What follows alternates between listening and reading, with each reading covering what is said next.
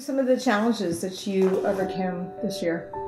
Um, I think the biggest challenge was working with an agent from the east side of the state that wasn't um, didn't really know the customary practices of real estate in West Michigan. And we have such different contracts that she really didn't know how to read ours. So that was kind of hard uh, hurdle to get over to to uh, for her to see what the contract was like over here, to understand the contract. Uh, biggest thing over I've overcome.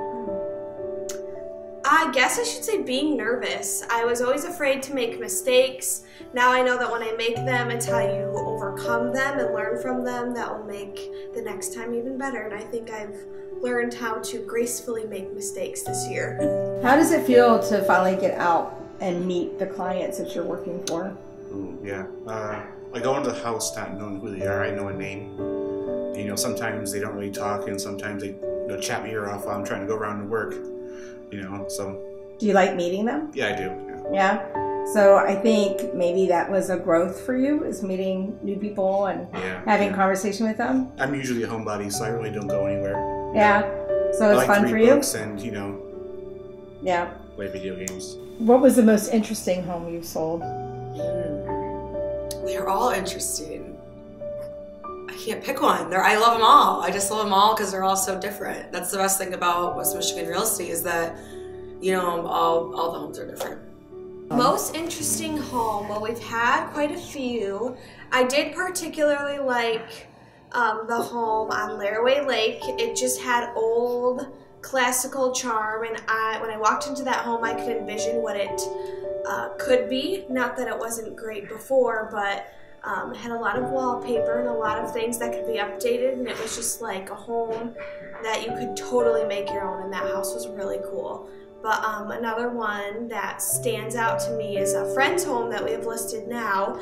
Um, it's out in Middleville. It started as a pole barn home, and then as his family has grew, he's grown the house with it, and he's put some really good personal touches into it, and it's just a really unique home. But I love all of them. What was your like biggest aha moment? Mm. What was Other realtors now are finally taking me seriously and don't treat me as Michelle Gordon's daughter or they recognize me as Amanda Gordon, not Michelle Gordon's daughter, or they actually see me as an adult now, not just a child. what do you think your biggest growth was this year? Oh, uh,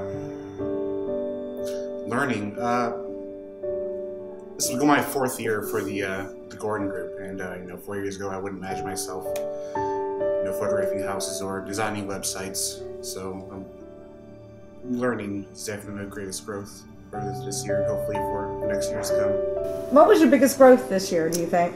Um, biggest growth. Well, I kind of play a two-edged sword on our team. I would say in my office work, um, getting our systems down and set in place. I feel really confident uh, this year more than the past years about our systems and just being able to help our clients to our best of our ability, making sure they're always communicated with, and I feel like I really improved in that aspect this year.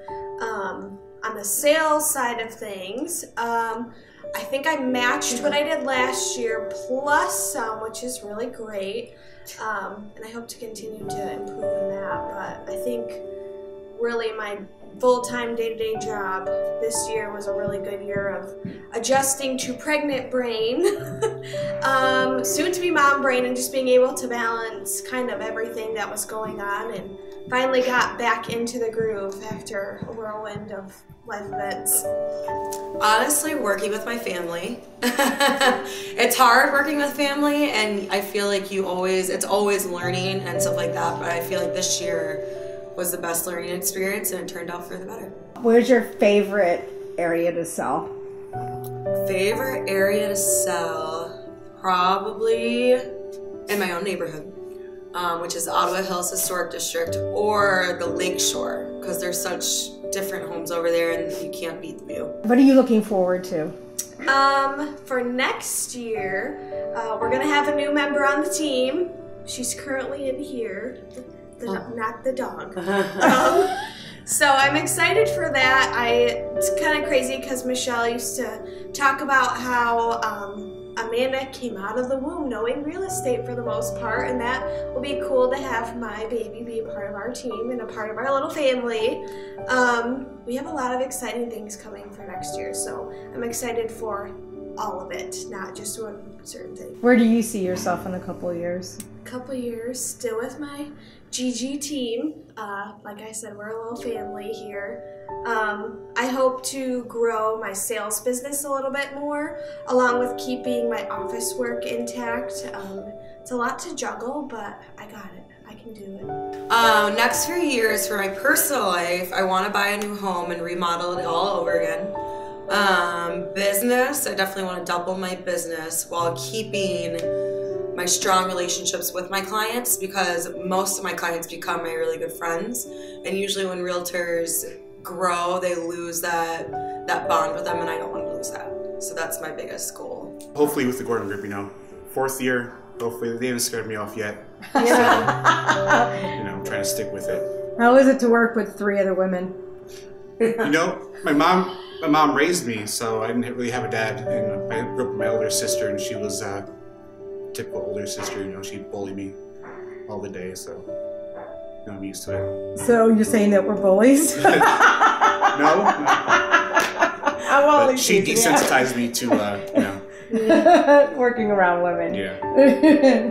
What was your favorite part about real estate in 2018? In 2018, my favorite part about real estate was um, the changes and the challenges. You know, we were status quo for about three years now. It was a very challenging status quo. We were all in a frenzy and everything was going fast. I like when the market changes, so we have to pick new strategies. We have to decide how we're going to list the house now. How are we going to help buyers write aggressive contracts now because everything changes. So this was a year of change, and I really like that. What's your favorite part of your job? Favorite part of my job, there's many, but one thing that I love the most is being able to help um, people with this next chapter of their life. We help a lot of people, especially this year with um, life events like clients who've gotten married, moving to the bigger house, or past clients who need to downsize. Just a lot of really cool life event- events you get to be a part of and just helping people. That's what I love to do best. What's your favorite part of the job? Favorite part? Ooh. I want to say photographing homes. Uh, was seeing how people live their lives. Uh, not, not really not watching live their lives, but you can tell how people live through the story of their home. You know, see pictures, see how they stage their house. You know, I think it's a really fascinating thing to be able to witness. It's true. Houses, homes are very personal. Yeah. They are very personal. That's why it's better to have those instead of a condo or, or, or an apartment. Oh, because every day's different. You know, even when it's like a slow day, it's still crazy and I thrive on it and it's just great. Who's your favorite team member and why? I'm just kidding. You're gonna put that in there. My favorite team member is Delilah. oh yeah. Um, this is Delilah. This is Amanda Gordon's uh, puppy and my grand puppy, and um, they now love each other. And we do love each other. We didn't used to love each other, but now we love each other. I think forming relationships sometimes take work, whether it's with our dogs or our clients, and so. so Always finds a way to bring it back to real estate. I do always find a way to make it back to real. Um, you know what? Everything comes back to real estate. What was your favorite house you sold in 2018? My favorite house that I sold. Oh, you know what? My favorite house I sold in 2018 was the Rewas. Um, it was such a challenge because I had talked to them eight years ago to list their home. Eight years ago, I talked to them and they weren't ready yet. They raised their children in that house. It was very um, close and near and dear to their heart. And um, they it took a while for them to get the courage up to sell and then they knew it was time.